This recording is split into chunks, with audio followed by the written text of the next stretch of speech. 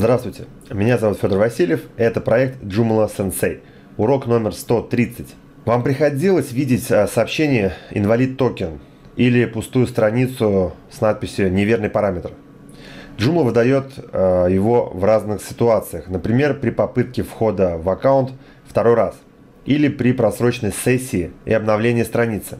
А, в данном уроке хочу порекомендовать бесплатный полезный плагин, который позволяет перехватывать а, пустую страницу и вводить любую информацию, которую вы напишете, или просто, если мы в плагине не напишем никакой текст, то есть а, этой проблемы больше не будет. То есть это очень-очень полезный плагин. У меня тоже на сайте наблюдались такие проблемы. Я нашел решение, нашел этот плагин.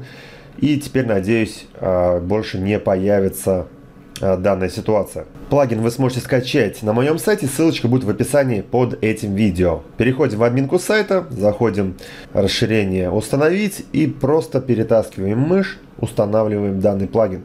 Плагин успешно установился, переходим расширение «Менеджер плагинов», он у меня сразу показывается наверху, если у вас он сразу не показался, здесь справа кликаем ID, кликаем туда еще раз, и тогда мы сортируем, и наш плагин становится на самом верху. Зайдем внутрь, там в принципе настроек никаких нет, и у нас вот есть небольшие параметры. Use backend, то есть срабатывать а, в админке, или use а, on frontend, то есть на сайте, на основном, да, на лицевой части сайта. То есть бывает, что и в админке э, может такая быть ошибка. Здесь на ваше усмотрение я включаю. И месседж, сообщение, которое будет возникать, когда у нас там просрочилась сессия или вот по каким-то другим моментам, когда Joomla нам выкидывает такую неприятную белую пустую страницу. Если ничего не напишем, то просто не будет срабатывать а, вот эта вот проблема. То есть как бы мы ее, эту проблему просто закрываем этим плагином.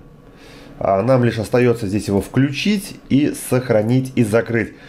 Вот и все, в принципе. Установили, включили и забыли о проблеме. Вот такое вот короткое видео получилось. Надеюсь, для вас видео было полезным. Если это так, поддержите меня, пожалуйста, лайком и подпишитесь на канал, чтобы не пропустить новые познавательные выпуски. На этом я с вами прощаюсь и до нового видео.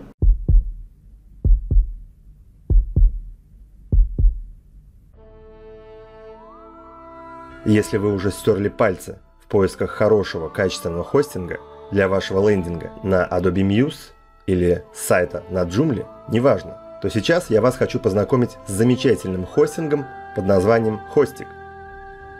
Сам пользуюсь данным хостингом уже много месяцев и очень доволен.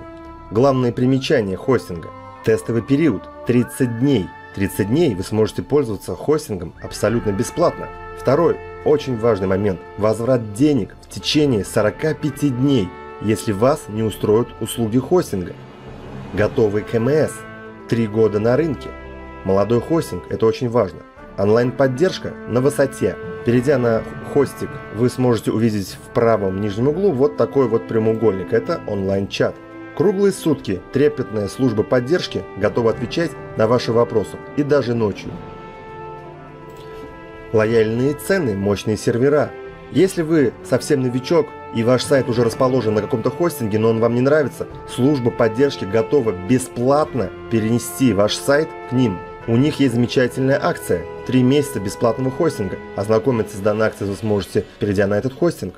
При оплате за год можно сэкономить до 45%. А также для мощных сайтов хостинг предоставляет мощные сервера. Вы меня знаете, я вам плохого не посоветую. Итак, если вас заинтересовало и вы хотите ознакомиться с данным хостингом, ссылочка под этим видео. Переходите и знакомьтесь.